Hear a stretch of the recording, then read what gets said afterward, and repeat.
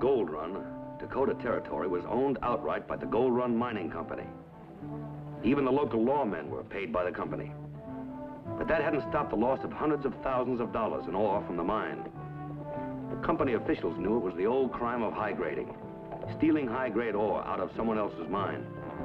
But they didn't know who was doing it or how it was done.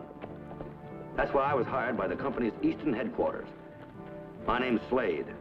I'm a private detective. I put in a lot of work on the case before I rode into Gold Run.